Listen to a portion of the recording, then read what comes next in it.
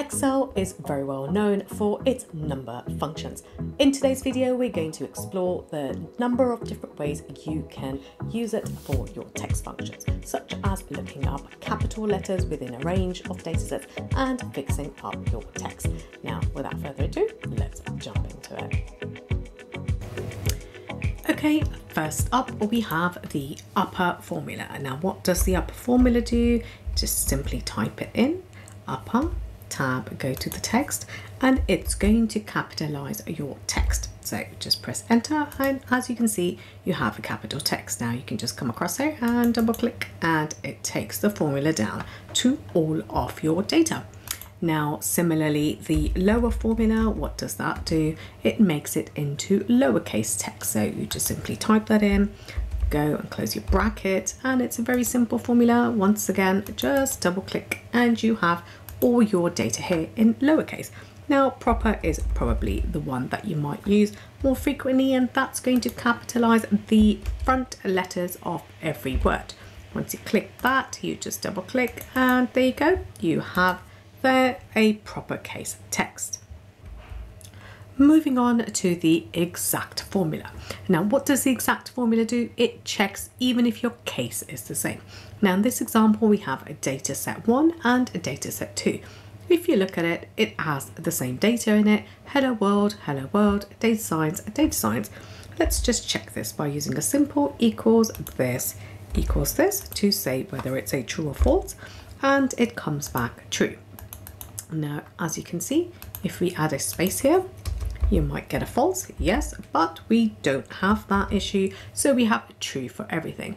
Now, say you want to extract your capital letters or a different case, then you simply use the exact formula and it checks whether the two strings are exactly the same and returns true or false and it is case sensitive. So this is a super formula for when you're trying to figure out if your cases are correct or incorrect can be used for various different reasons. Okay, so exact, open bracket, text one, comma, text two, and let's see what this returns us. And it says it's false, and that is exactly what we want because right now it's checking the actual case sensitivity of the two strings. Okay, here we have a number of different formulas starting from the left, mid, right, trim and substitute. What are we going to do here? We're going to use them for different scenarios. So now here, the left function is used to remove the first characters of a string. So let's type in the syntax equals left and now we click onto the actual data that we want, the text and the number of characters. Now in our example, we want the first five characters from that string. Close that and do that. So obviously you can use that for any X number of characters you want to do. Now, as you can see, you would expect maybe to have the full Excel in this box right here, but as you see, there's a little gap here. There is a space just before the Excel, so it's taking the space as a character and the first four letters. So it's simply taking characters and not taking just the visible characters that you see. If you double click here, you can see that it takes the first five characters data with the hyphen, the first five numbers here, hello, etc. Now, the mid function. The mid function takes a piece of a string between the actual text there. And what you need to do is you just use the mid equals mid. We go onto the text. Now we want to check the start number and the start number from where we want to start the characters is five. And how many characters do we want? So actually we want six characters and we want um, five here. So we're starting from the sixth position and we are going to have five characters. Now when you press OK, you can see that it has the L. So this is five up to here. The L is the sixth and it takes then five characters after that. So there you go. That's how to use the mid function. And that might be used for various different things as well. Lastly, we have the right in this group of functions. The right is just like the left, but instead of taking it from the left, it's going to take it from the right. So we have right here, and we're going to choose five characters from the right as well. As you can see, functions, the last I-O-N-S is there, but if you notice, you have a little space here. So uh, once again, it's taking the space as a character. Double click it, you have then as the data here, one, two, three, four, five. That's also the last five characters and the first five. Okay, now that we've got a lot of spaces, your data might be messy. So how are we going to do this? We're going to use a function called trim. What does trim do? It simply removes all the non-printable characters inside of the text. So if you just read it, it will remove all the spaces except single spaces between words, which is exactly what we want. We click that now this is a very useful function when you're using lookup formulas such as VLOOKUP where you may have spaces and it doesn't exactly match your text. So this is very important. The substitute function literally substitutes something inside of your string. So let's try that. What we're going to do is use a substitute. We're going to take the text and we it's asking us for the old text. Now we're going to take Excel here so we put that in double quotes, Excel, and close the double quote, comma, what is going to be the new text. The new text, let's put it in again, double quote marks, Excel, here you go. Now, there is an instance number. It's not going to be very visible here, but let me just put here one for now.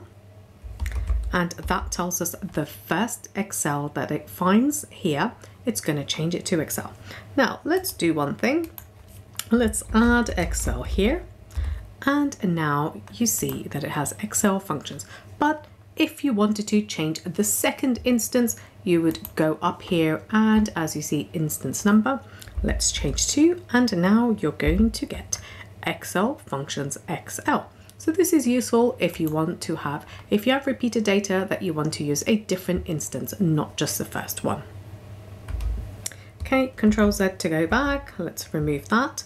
Now go back here and double click and you can see that we've substituted Excel here and also the Excel in the number six data row here. And that's how you can use the substitute function. Okay, now moving on to the replace function. Replace is quite versatile where it can replace something from a particular start position with the number of characters. Now let's have a look at some examples over here. So equals replace, okay, and we click onto the alt text. Now for simplicity, we can add here six, but we can also add the start position as the cell reference, but let's just try six here. And the number of characters is one. So what are we do, trying to do here? We're trying to replace the S here with something else. And now, comma, and what's the new text? So now you can click into the cell reference or you can simply type in whatever you want to change it with. Close that there. And there you go. Now, if we use the cell references, then we can simply drag the formula, but it's not really going to make much sense if we add Smith to all of the others. So what we can do is we can simply do a replace, open the bracket, the old text is here, the start position is here, number of characters, and what are we going to replace it with? It's this text right here. Of course, this is very useful for when you have a series and you want to change a particular part of the series or anything else that changed. Now, if you go down, we are changing the dialing code, so that's also very useful. And if you want to go down and you have a spelling mistake that you want to change, you could easily just change that there as well. And if we just drag it down, you can see that if you want to change the dollar into a euro, you could do that. So you can keep the original text with you as well.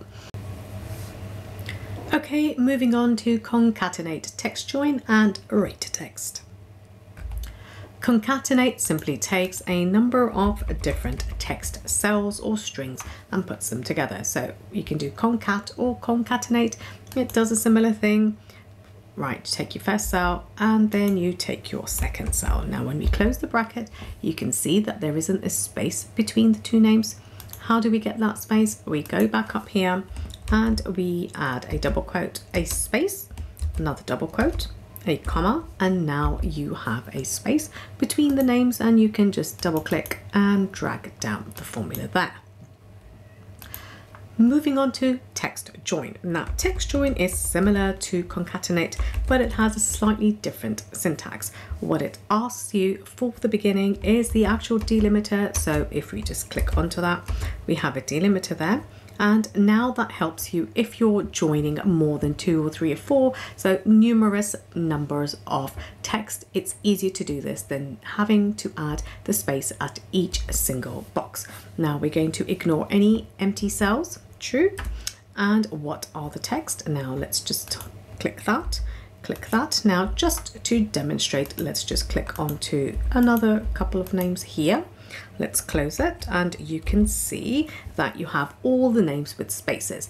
If you were to do that with a concatenate, you would have to comma and then you would have to double quote and space and so forth. And that's a very lengthy process. So concatenate is easier for one or two different text cells to join together, but not for numerous. Text join is definitely better for more than that. Now let's just go back here, close that, and we can just simply double click and there you go you have everything. Now array to text is something that you might want to use. It could be useful in certain circumstances. And what does it do? It simply takes a text array and it keeps it all together. So now if we just highlight all of these names comma let's see what happens and you see it brings you an array of all of the names separated by a comma. You may need to use this in certain functionalities. Perhaps you're writing an email or you're writing something else that you don't want to have the list in cells, then array to text is definitely something that you can use. Last but not least, we have text before and text after. So let's have a look at how it works. It works similar to text join and we just go and type in text before.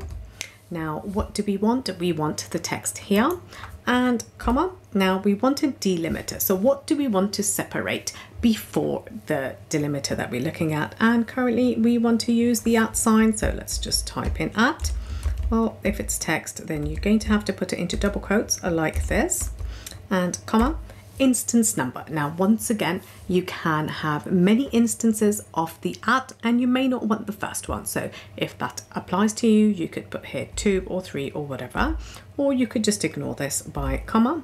And do you want it to be case sensitive? Well, in our case, we don't really care. So you can see how versatile this formula really is. And once again, let's comma and you can say don't match until the end or match to the end as well.